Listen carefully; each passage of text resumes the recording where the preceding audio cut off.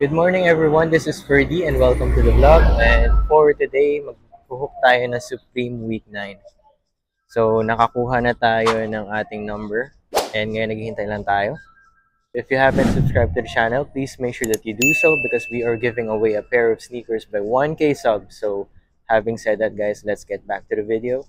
So guys, this is my outfit for today. And ngayon, naka-Stussy tayo. Ang cap ko is from Stussy. Dating release pa, last spring, summer. And 8 ball tee. Ayan siya. Tapos ito yung likod. Yung pants ko is from Dickies. Bag is from Carhartt. The shoe is from Nike. Ayan. Yung uh, favorite na dunk ko. Nike Dunk Low. Flip the old school. And yung socks is from X Large. Ayan. Meron din akong watch. So, yun lang guys. So, sa nakikita nyo guys, nag-wither na yung Sakura tree.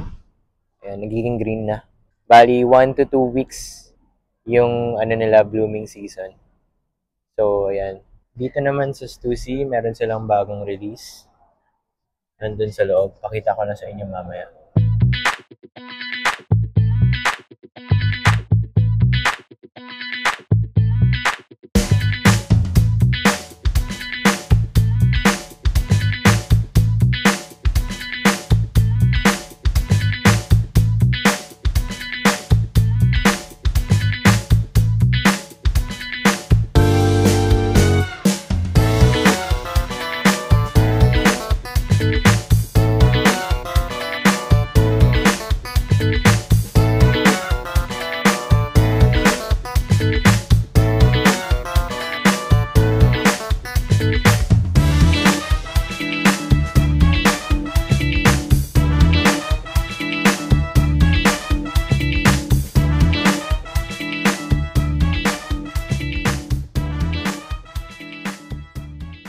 So guys, that's what they have in Supreme and ngayon nakuha na natin yung orders natin. So ngayon naman pupunta tayong New Balance para i-check kung ano yung mga bago nila doon.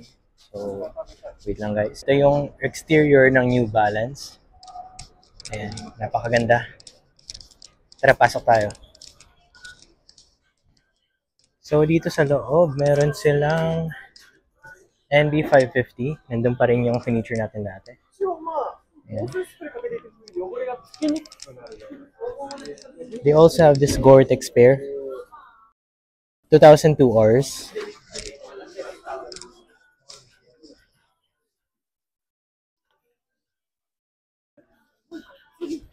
Ito, newly released 991 V2s. Ayan. So, meron din tayong Navy.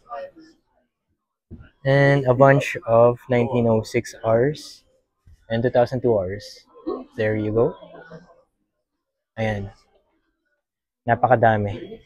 That's what they have in New Balance and ngayon papunta na tayo sa Stussy. Pakita ko lang kung ano yung mga nirelease nila. So, nandito na tayo sa Stussy.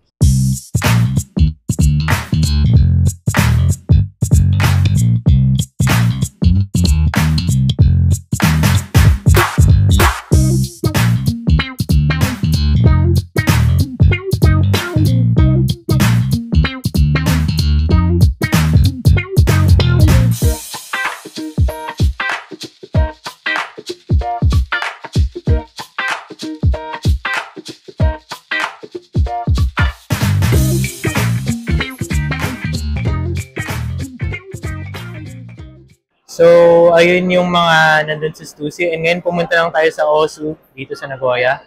Ah, di pa ako nakapag-vlog dito pero pakita ko lang.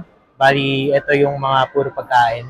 So, ito yung mga ano, dessert na pwede natin bilhin dito. Ang pangalan ng stall na to is Marion Crepes.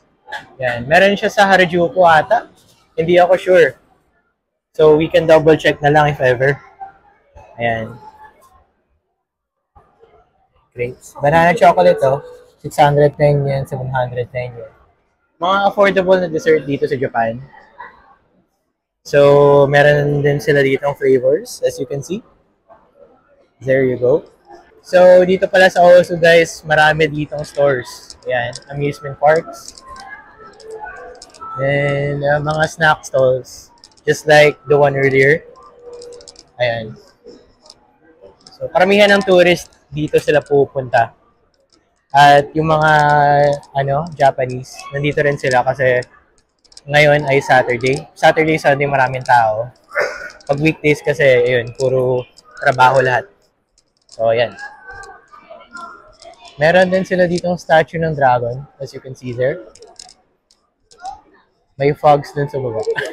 Fog. Dun sa baba.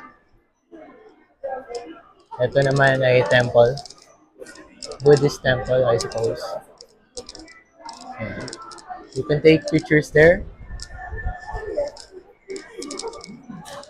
At kung ano na pa. May ABC Mart din dito, kaya lang hindi siya yung grand stage. Yung mga usual na mga sapatos lang yun nandito. Ayan. Mga mumurahing sapatos or yung mga budget shoes. So, pag tourist kayo, pwede pang bumabayan dahil tax-free nga, di ba? So, I recommend to go here kung makakapunta kayo. Ang marerecommend ko na may-try nyo dito is this one. Osu Brazil. This is a Brazilian chicken here in Osu, Nagoya. Ayan yung price. So, one whole chicken is 2,200 yen. Ayan, parang mga 800 pesos. Ayan, 1,000. So, dito na pinaprepare yung chicken, as you can see here. And we have drinks here. Also this one. Ano naman to. Mga croquetas. O. Here in Japan. At kami ni Kim may nag-order ng isang chicken. Yan lang. So, siya may binili siya dito. Samba OG. Isang customer niya. Ito ang kakainin natin for today. Ayan. Brazilian chicken. So, ito yung closest na natikman ko na pwede sa, ano, parang ano, sa Andox, no? Ayan. Roasted chicken. Ito, wala kasing Andox dito sa Japan, so ito lang kakainin namin. So, yun lang guys. Kita lang tayo mamaya. So, nandito na tayo sa Bape and ito yung mga selections nila. Yung mga shirts and yung Bape stand na nandun pa rin. Ito, PONR na ABC camo instead of WGM. Ang pinakabagong Bape stas nila in three colors. Green. Ayan, ang ganda. Tapos yung dalawa doon. Sa shirts naman, ito yung bago. Yung black, white, gray, at saka red. Ayan. Tapos dito, ASNKA collaboration. Ayan, ang ganda. Ito ring white. So, dito naman, meron tayong 31st anniversary of Bape. Itong mga shirt na to. So, 31 years. Ba, ang tagal na ng Bape. Ayan yung mga selections natin. Nag-restock din sila ng WGM na Bape Shark hoodie. Ayan, yung full zip. Ang ganda yan. Chenille material. Tapos, ito yung mga selection nila with the ABC camo pattern. Ayan. Pang summer yung iba. Yung iba, hindi natin masusuot kasi pang winter. Which is weird. Nasa on-display pa. Tapos ito naman, dunks. Kamukha niya yung dunks na suot ko. Ostrich leather material, parehas na parehas. So guys, ito na lahat ng nabili natin. Grabe, sobrang bigat. So, ayun yung mga nandun sa stores. And ngayon, pauwi na tayo. Mamaya lang ako mag-update guys, okay?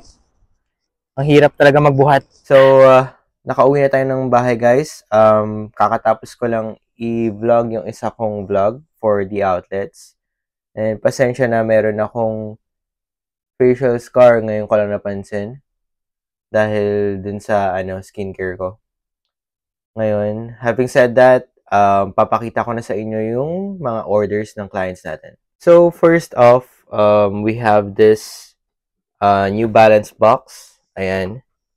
And this is for Sir Stephen. So, hinanap ko talaga to sa Nagoya. Ayan yung receipt. For transparency, ilalagay lang natin dito. And this is the pair. Lalabas ko lang both. Wait lang guys. So, this comes with this classic New Balance box. Ayan, M2002 RXD. So, ito yung Gore-Tex version nitong 2002R. Ayan. Well, sobrang ganda niya. Kasi ano, pwede nyo rin to suotin habang umuulan. So, there you go. Napakaganda ng materials. Meron pa pala sila ditong ano. Ayan. 2002R Gore-Tex version. There you go. Yung N logo niya is 3M material. So, reflective material siya. And also, the tongue. Ayan, New Balance. Hindi ko alam yung nandito sa likod. Di ako sure. Ito yung outsole. Good looking pair. Ito yung right pair and the left pair is this. Dito nakalagay yung mga tags. Ayan. Gore-Tex tag. Here you go. Ayan. So, suede. Ang gandang pair. So, thank you for your order, Sir Stephen, and maraming salamat din sa tiwala. And, guys, doon tayo sa next order natin. Ibabalik ko lang to sa shoebox. So, ang next natin is this. This is for Sir Percival. So, sa pagkakaalala ko, guys, nakita niya ata tong jacket na to sa Tokyo ata or Osaka. Nagpa-hook lang siya sa atin. Tinanong niya kung may size pa. So, buti, nakakuha tayo dahil sa tulong ng store manager. Wala na nito sa Nagoya pero nahook pa rin natin si Sir Percival. So, so maraming salamat sir sa suporta and sa tiwala na rin. So, next na tayo guys. So, si Sir Mikel, nagpa-order siya sa atin ng isang cup na kinuha natin nung Sabado. And uh, ito, Supreme Maison Margiela MM6 collaboration. Tapos naglagay ako ng mga freebies sa likod. So maraming salamat Sir Mikel sa patuloy na tiwala. And bumili rin pala siya sa atin ng Supreme DNs na i-feature ko ulit dito sa vlog. So maraming salamat Sir Mikel sa suporta and sa tiwala na rin. And ang next order natin is this. This is for Sir Ninjan. A bathing ape mesh cap. Ayan. So, maraming salamat Sir Ninjan for this order and proceed na tayo sa next. Ang next order natin is this one. This is for Sir Milky. The North Face split waist bag. Ayan. So, there you go. And then yung tag ng The North Face. Ito yung authentication card. This came from Sneaker Dunk. Ayan. Thank you card na rin. So, unfortunately, one per person lang siya dun sa release date. Nakakuha naman tayo yung black, pero nabenta na rin natin. So, pagkabalik ko ng store, wala na rin silang available na stock for this one. So, we have to go to Sneaker Dunk para lang makuha ito. So, salamat Sir Milky for this one. So, next order na guys. So, si Sir Vince, um, hindi, na, hindi natin siya na-hook ng S-logo cup. So, siya pala yung nagpa-order ng S-logo na cup last um, last week. So, ngayon, dumating yung isa yung order, S-logo ulit. Mahilig siya sa mga ganito klaseng cup. Ayan. S-logo, authentication card by Sneaker Dunk. And ayan yung brim niya, corduroy. Nakalagay sa likod yung authenticity tag. So, there you go. Maraming salamat, Sir sa patuloy na suporta. And, uh, next na natin, guys, is this. So, this is for Sir Troy. So, there you go. This is the Katakana Vape Tea. Yan. Napareserve na natin to kay Rika San. And, bumili siya ng Supreme shirt. Size medium. Ayan. Yung pinline tee. Ang ganda. Sobrang ganda nito. Kasi, simple lang siya. And sa likod, yung mga freebies na binigay natin, including the receipt. Napansin ko kay Sir Troy, parehas kami ng, uh, ano, parehas kami ng sizing. Nung ginagawa sa sizing, kasi ako, 2XL ako sa vape, talaga.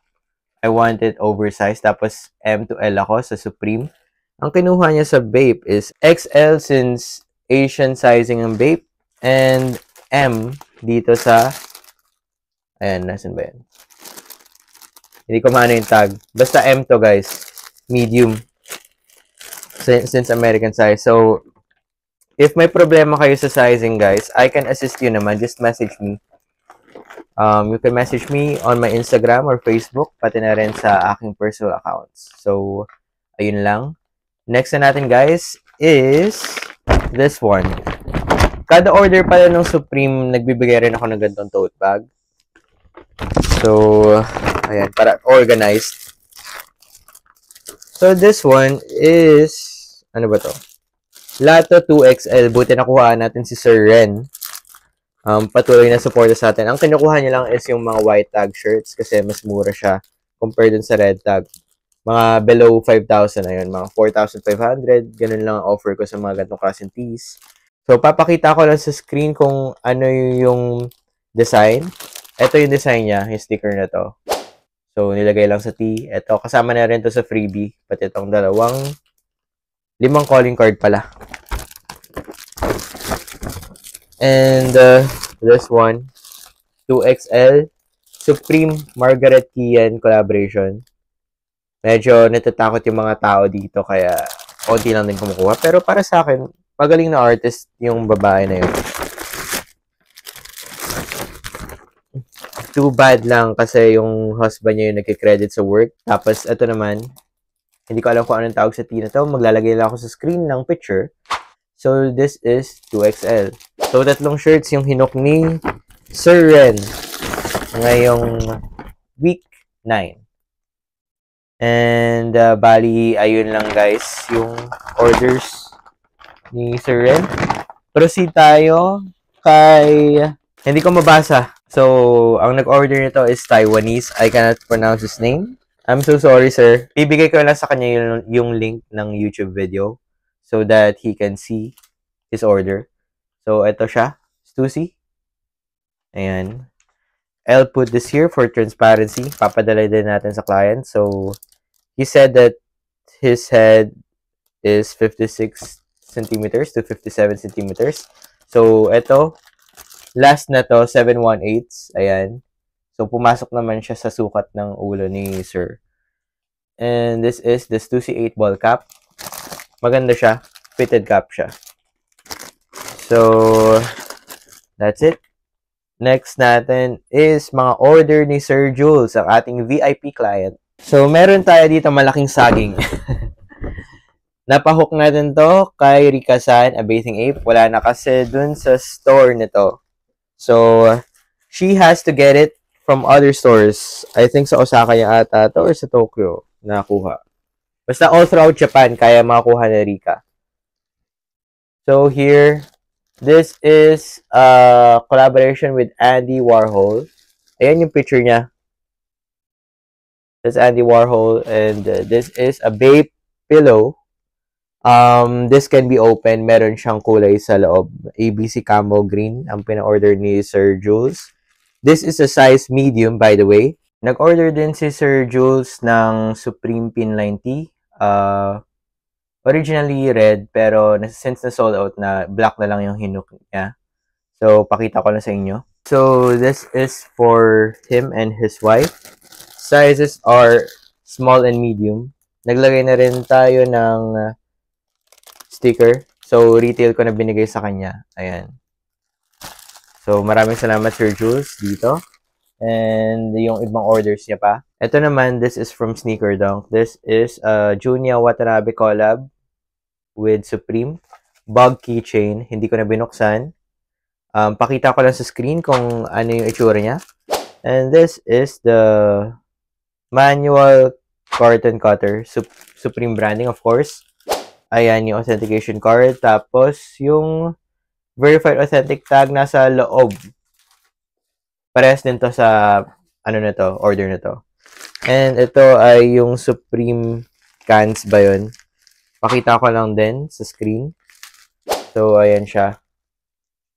Authentication card, dinodouble wrap natin. Tingnan ko lang kung meron pa tayong order dito. So, meron pa tayong order dito for Sir Miles. GU pants. Ay, GU shorts pala to. Mahilig siya sa oversized. Grabe oversized. Hindi ko mapapantayan yan si Sir Miles. Ako mahilig din sa oversized pero yung tama lang. So, ayun, ang orders natin. May nakalimutan pa pala ako na ano sabihin guys. meron pa rin, meron pala tayong order dito for Sir Jules. Ayan.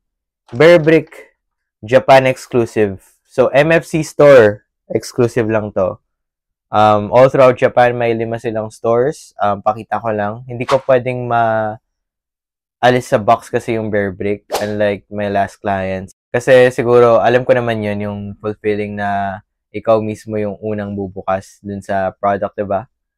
Parang just like shoes and everything. Well, ako, ako rin naman ganun. So, pakita ko lang sa inyo yung box. Binisita ko rin yung mga friends natin dun sa MFC store. Ayan, nagbigay sila nitong napakagandang shopping bag.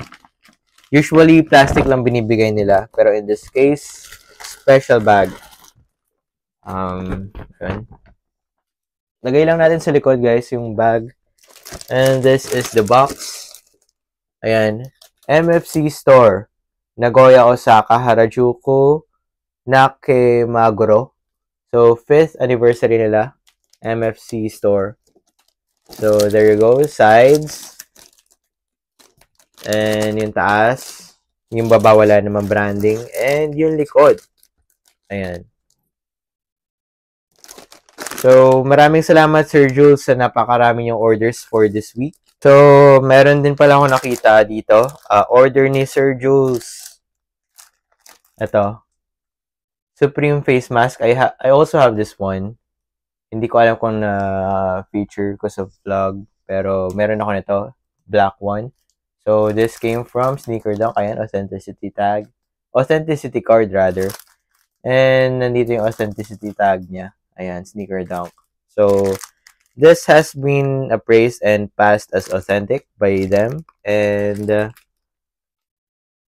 I think na-cover na natin lahat. So, guys, um, nandito na po tayo sa dulo ng video. And, uh, Maraming salamat po sa sumusuporta, nanonood, yung mga nag-orders na clients, VIP clients, and sa kahit anong support na naibibigay nyo sa akin. Maraming salamat po. And thank you for watching. As always, guys, see you in the next one. Bye-bye!